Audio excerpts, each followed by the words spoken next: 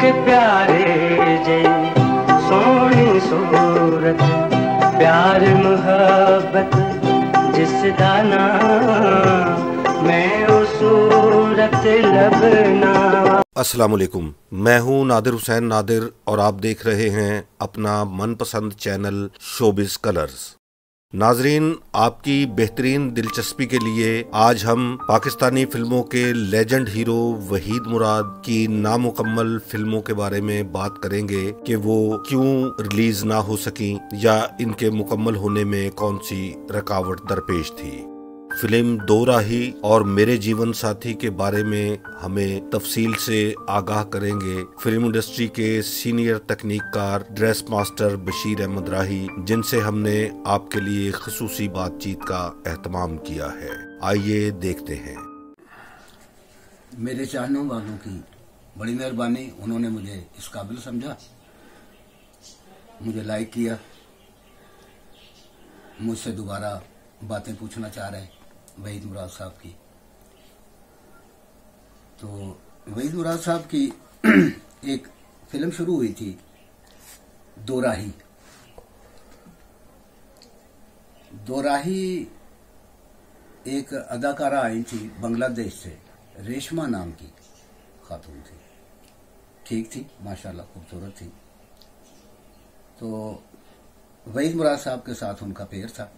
उनको शौक था कि मैं वहीद मुराद साहब के साथ एज ए हीरोइन काम करूँ। तो शुरू हुई हुई पाँच दिन ही शूटिंग उसमें कोई लिबास वगैरह पहने हुए थे गगरे चोलियाँ। इस किस्म का लिबास था। अच्छा। हाँ। तो वही साहब ने जब भी आना उधर आना पहले जमशेद नकवी साहब के ऑफ़िस में अच्छा। वहाँ फिर मुझे पता चल जाता था कि वही साहब आए भाई उनके ड्रेस वगैरह। तो मैं जाना पूछना कि भाई साहब आपके ड्रेस उन दिनों में उनके साथ एक नौकर भी हुआ करता था।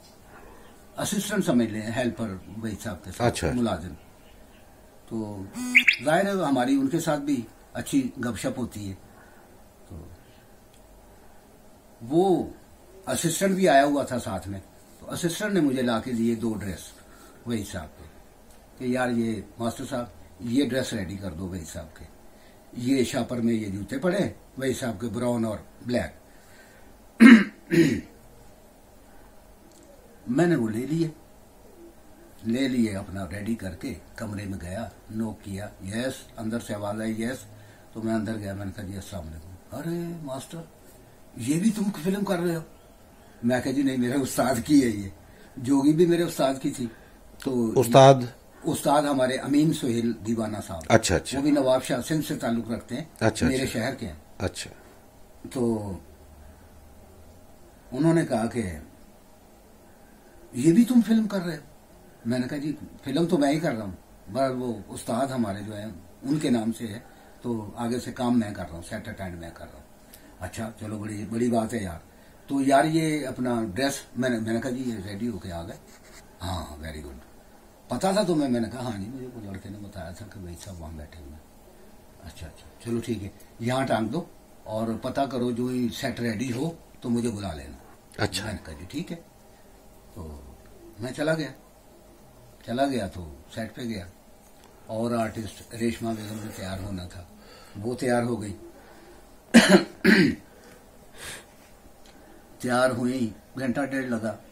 वही साहब आए वही साहब ने कहा भाई मैडम तैयार हो गई? तो उन्होंने कहा हाँ जी, तैयार हूँ भाई साहब। चलो जी सेट पर गए। मुझे याद है अच्छी तरह सीन थे।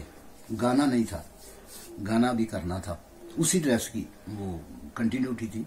पहले सीन थे, बाद में गाना था। वो सीन उन्होंने किए। अच्छा सीन हुए। तो टाइम काफ़ी हो चुका था। भाई साहब ने कहा, भाई टाइम ये हो गया। मेरी तो गलती नहीं है इसमें। तो भाई साहब वो चले गए। इजाज़त लेके ऐसे नहीं अच्छा। इजाज़त लेके कि रेशमा जी मैं जाऊँ इजाज़त है। उन्होंने कहा जी ठीक है टाइम हो गया जाए आप कोई बात नहीं कल कर लेंगे। फिर दूसरे दिन उसी सेट पर फिर वो काम थोड़ा बहुत किया। यानी जो सीन लिखे हुए थे वो मुकम्मल कर लिए। जो पहले वाले दिन के थे वो भी मुकम्मल कर लिए। वही साहब ने कहा जी ओके हाँ साहब वो गाना करना था तो हम सेट पर बातें हो रही हैं हमारे सामने। अच्छा अच्छा। वैसा वो गाना करना था तो उसके लिए डेट मतलब जब आप कहें डेट का क्या है? जब आप कहेंगे जमशेद साहब बैठे हुए। जमशेद साहब से आप बात कर लीजिएगा। जमशेद साहब यानी कि खास थे उनके दोस्त थे। दोस्त थे। दोस्त। सही ये तेरा आना भीगी रातों में चुपके चुपके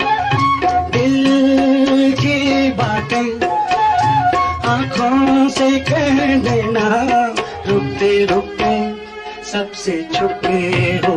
जमशेद नकवी साहब, वो भी तकरीबन मेरा उस्ताद सारी फ़िल्में जमशेद नकवी साहब की, या खुदा, निशानी, आई लव यू, प्यारी, ये सारी फ़िल्में वो जमशेद नकवी साहब की थी, उस ऑफ़िस की। तो बस फिर वो कुछ फ़िल्में जो हैं जमशेद साहब की मुकम्मल हुई कुछ नहीं कुछ रह गई। तो उनमें से जो कंप्लीट हुई हैं वो निशानी थी निशानी फ़िल्म जो आई लव जो यू मैंने कराई हाँ। जी आई लव यू प्यारी। आई लव यू ये रिलीज़ भी हुई फ़िल्म है हाँ ये हाँ। तो बस फिर अल्लाह जाने क्या हुआ कुछ समझ में नहीं आया। चलते रहे फिर बीच में काफ़ी फ़िल्में आई। जोगी फ़िल्म आई यानी पंजाबी फ़िल्मों की तरफ़ वही साहब वो भी किया पंजाबी फ़िल्म में भी वही साहब के साथ बताया था मैंने कि जोगी फ़िल्म हाँ जी, कराई थी। जी, जी। वो भी पूरी फ़िल्म मैंने कराई थी। अच्छा बशीर साहब वो मेरे जीवन साथी जो दीबा बेगम ने बनाई। हाँ दीपा बेगम काबिल एहतराम खातून है मैं उनको बहन का दर्जा देता हूँ। फ़िल्म इंडस्ट्री में मैंने किसी को बहन नहीं कहा। और कहा है तो ये दीपा बेगम को मैंने बहन कहा है। और इनशाला जब भी मिलता हूँ मैं उन्हीं नज़रों से मिलता हूँ। उनके साथ। अव्वल तो काफ़ी अरसा हो गया मुलाकात नहीं होती। ओ मेरे सामने सनम महबूबा तेरी झील जैसी आँखों में दिल मेरा डूबा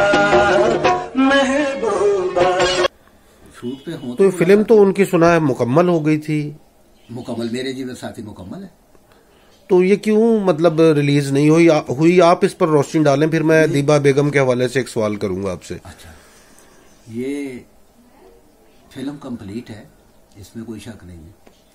और मुझे दीबा बेगम ने जब जिन दिनों में मैं वहाँ रहता था उनके घर पर दीबा बेगम के फ़िल्म इंडस्ट्री के हालात कुछ ऐसे थे कर्फ्यू लग जाना वो मार्शल ला क्या लगा हुआ था जो जी जी। हाँ तो उस दौर में स्टूडियो बंद हो जाता था शूटिंग वगैरह नहीं होती थी। तो उन दिनों में कोई एक शूटिंग आई तो दीबा बेगम ने कहा बशीर यहाँ क्या करते हो? मैंने कहा बाजी कुछ भी नहीं। बड़ी बहन की तरह मैं उनको समझता था। और आज भी समझता हूँ इंशाल्लाह। तो मैंने कहा बाजी कुछ नहीं। क्या बात है? मुँह उतरा जा रहा है तुम्हारा। क्या करते हो? शूटिंग वूटिंग नहीं हो रही क्या? मैंने कहा नहीं बाजी कोई भी नहीं हो रही। तो चलो फिर यहाँ क्या करते हो? चलो उधर घर मेरे पास। उन दिनों में देव दीबा बेगम जो है ना वो टैक्स वाले कुछ बहुत परेशान कर रहे थे उनको। टैक्स वगैरह होता है ना आर्टिस्टों का। जी जी जी। इनकम टैक्स हाँ जी। जी जी। तो उन दिनों में फिर वो अली भाई के अली साहब के घर मोहम्मद अली साहब के घर वहीं पास आस पास ही थे इनके घर। तो वहाँ जाना फिर वो मामला तय करना पैसों का क्या देना क्या नहीं देना वो अली भाई से सलाह करती थी और अली भाई कहती थी उनको। अच्छा अच्छा। हाँ मोहम्मद अली साहब को। मोहम्मद अली साहब अच्छे इंसान थे। तो वो मेरे जीवन साथी उन्होंने मैंने मैंने कहा बाजी इसको रिलीज़ करें फिर इतनी अच्छी फ़िल्म है रश परट भी देखा। अच्छा। दीबा बेगम के साथ बैठ के हमने बारी स्टूडियो में उसका प्रिंट था उस फ़िल्म का।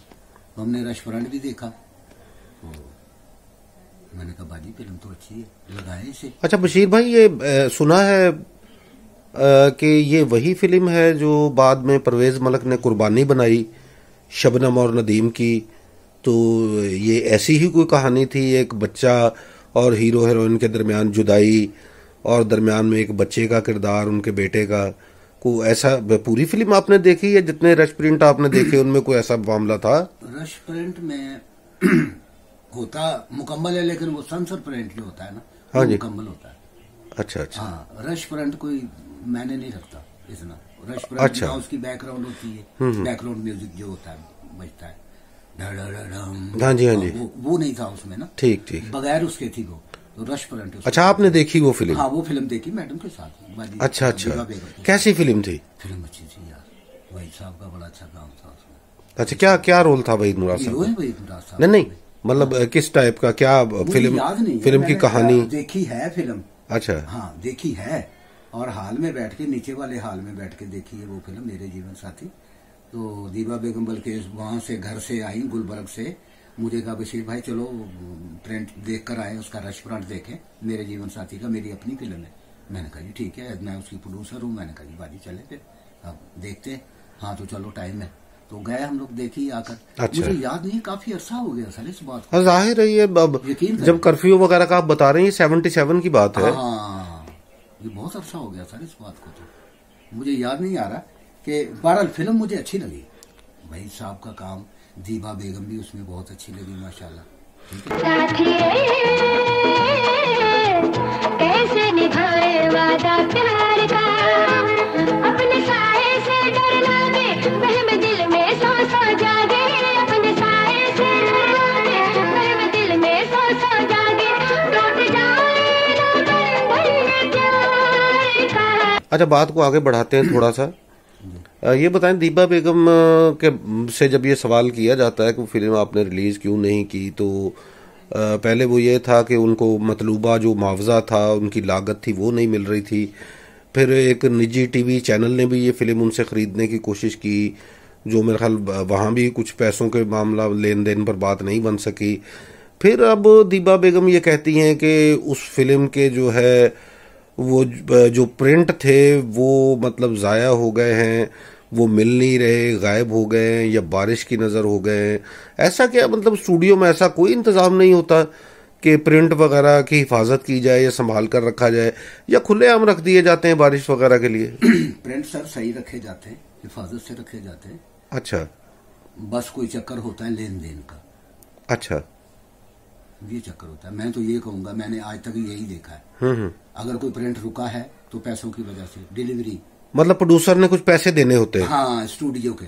ठीक है। वाजबुलात क्या हाँ वाजबात जी हाँ, जी। वो वो वो देने होते हैं। उसकी वजह से जो है ना वो प्रिंट रुक जाते हैं। अक्सर हमने ये देखा अच्छा, वो नहीं देते फिर। मेरे हिसाब से दीपा बेगम ने कुछ पैसे वैसे देने थे उनके ज़्यादा तो उसके बाद जो है ना वो उनका हाथ नहीं पहुँच सका ये बात होगी। लेकिन जब उनको पेशकश हुई एक मरतबा तो यहाँ तक बशीर साहब के वहीद मुराद के जो फैंस हैं उनके क्लब बने हुए हैं उन लोगों ने ये भी कहा था कि जितने पैसे चाहिए हम लोग आपस में इकट्ठा करके आज दे देते हैं तो फ़िल्म रिलीज़ की जाए। मगर फिर भी कोई बात मतलब बनी नहीं या क्यों नहीं फ़िल्म रिलीज़ की गई? तो बहरहाल जब भी आपकी दीपा बेगम से मुलाकात हो तो उनसे ज़रूर पूछिएगा। तो हमें आपकी मुलाकात का और आपके जवाब का इंतज़ार रहेगा। आपका बहुत शुक्रिया।